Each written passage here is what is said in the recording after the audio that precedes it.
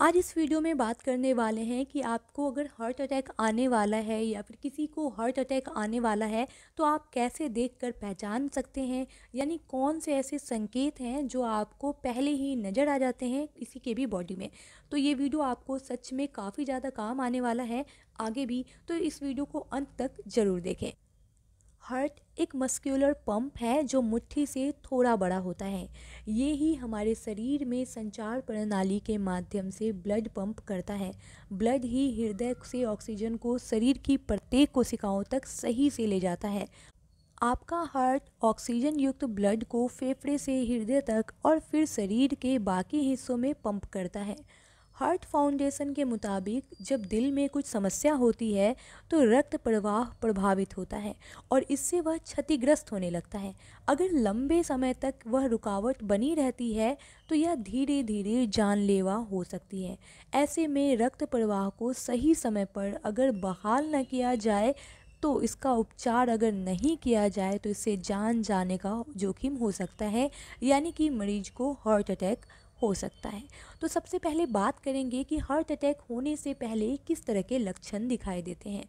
सीने में बेचैनी या फिर दर्द महसूस होता है। अगर आपके सीने में असहज दबाव, दर्द शून्यता निचोड़न, परिपूर्णता या दर्द जैसा महसूस हो रहा है तो इसे अनदेखा नहीं करना चाहिए। अगर ये बेचैनी आपके बाहों, गर्दन, जबड़े या पीठ तक फैल रहा है तो आप सचेत हो जाएँ और जितनी जल्दी हो सके अस्पताल पहुँचें। यह हार्ट अटैक आने के कुछ मिनट या घंटे पहले की लक्षण हो सकते हैं। अगला जो लक्षण है, वो है थकान महसूस होना।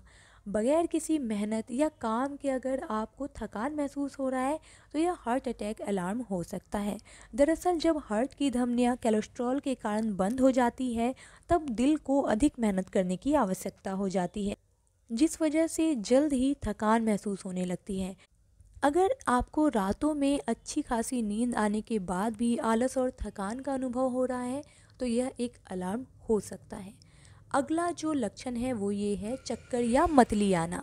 अगर आपको दिन में कई बार चक्कर आ रहे हैं, उल्टी जैसा महसूस हो रहा है, आप असहज महसूस कर रहे हैं तो यह भी हार्ट अटैक का लक्षण हो सकता है। दरअसल जब हार्ट कमज़ोर हो जाता है तो इसके द्वारा होने वाला रक्त संचार भी सीमित हो जाता है। ऐसे में दिमाग तक आवश्यकता के अनुसार ऑक्सीजन नहीं पहुँच पाता। ऐसा होने से चक्कर आना या फिर सिर भारी होने जैसी समस्या उत्पन्न होने लगती है। अगला जो लक्षण है, वो है सांस फूलना। अगर आपको सांस लेने में किसी भी प्रकार का अंतर लग रहा है या फिर सांस फूल रही है तो यह भी दिल के दौरे का लक्षण हो सकता है।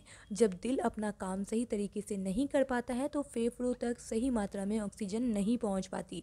इस वजह से सांस लेने में कठिनाई होने लगती है। अगर आपके साथ भी ऐसा हो रहा है तो बगैर देर किए अपने डॉक्टर से तुरंत संपर्क करें। और अगर आपको ये वीडियो अच्छी लगी हो या फिर आपके थोड़ी भी काम की आई हो तो प्लीज़ हमारे चैनल को सब्सक्राइब और वीडियो को लाइक ज़रूर कर दें। और अगर आपके मन में कोई भी सवाल है तो एक कमेंट करें, मैं आपके सवालों के जवाब तुरंत देने की कोशिश करूँगी। मिलते हैं अगले वीडियो में अपना बेहद ख्याल रखें।